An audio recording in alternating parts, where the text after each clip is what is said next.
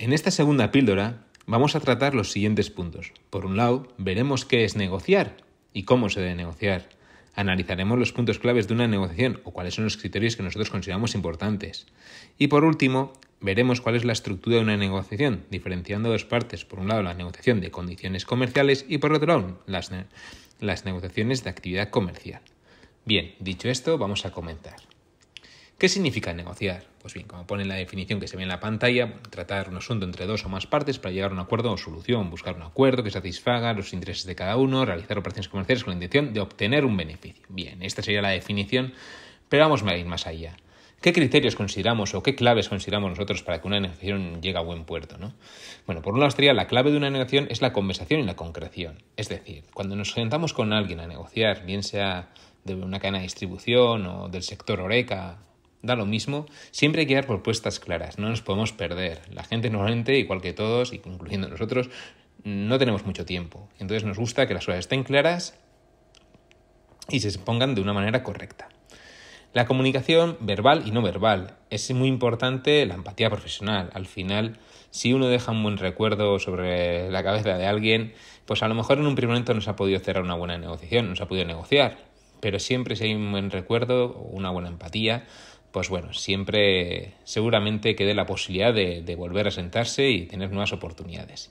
En cuanto al análisis estratégico y el control de los números, son muy importantes. Cuando nos sentamos a negociar no podemos ir con todo cerrado. Hay que tener un gran control de la, de la empresa que gestionamos o de las cuentas que llevamos, porque en una negociación no está todo dicho, ni mucho menos. Entonces, siempre puede haber alteraciones, puede haber nuevas propuestas y tenemos que ser flexibles, tenemos que estar abiertos, pero para ello necesitamos tener un control absoluto de nuestros números.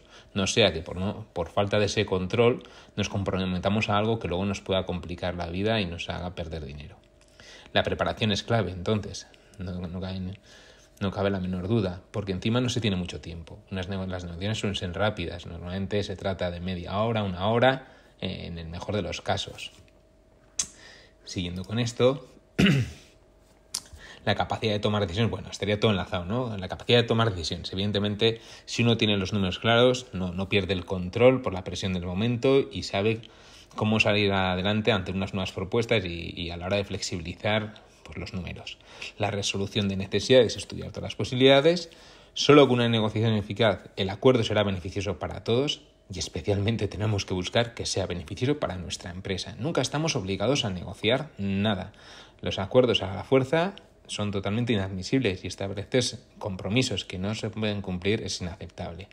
No nos podemos comprometer bajo ningún concepto a algo que luego no podamos cumplir, bien sea en cuanto a la gestión de los pedidos, eh, pero y mucho más allá de, lo, de, los precios. Cualquier error en los precios, en los números, nos puede llevar a, bueno, a tener problemas financieros, ¿de acuerdo?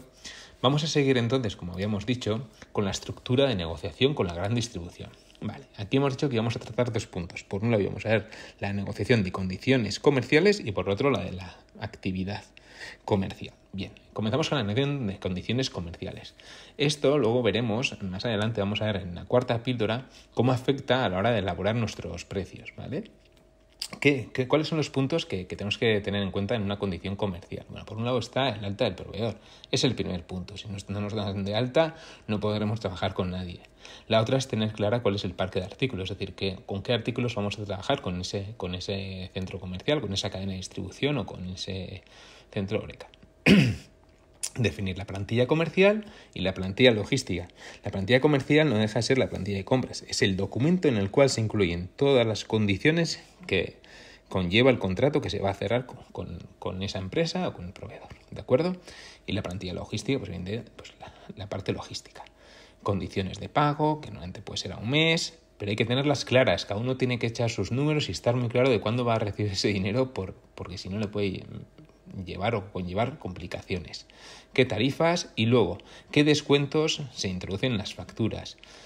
Descuentos promocionales, descuentos logísticos, descuentos financieros, descuentos de tarjetas financiación, descuentos atípicos. De esta parte los comentaremos más adelante y los analizaremos en algunos de los ejemplos, ¿de acuerdo? Muy bien. Y por último, vamos a ver la parte de la noción de actividad comercial. Bueno, en esta parte se negocia la actividad comercial. Una vez que hemos mostrado precios, que tenemos, que, vamos a vender, qué, productos tenemos, pues bueno, ya se gestiona un calendario de ofertas, si son promociones estándar, si son acciones comerciales especiales, si son actividades promocionales, posicionamiento destacados, y en base a todo ello, si son acciones de marketing mix, acciones de fidelización, Ello conllevará luego también un cargo sobre las tarifas. Entonces hay que tener en cuenta que negociamos y siempre controlando muy, muy, muy bien nuestros números, ¿de acuerdo? No nos podemos meter en problemas por una mala gestión de nuestros números y de nuestros productos. Dicho esto, nos vemos en la próxima píldora.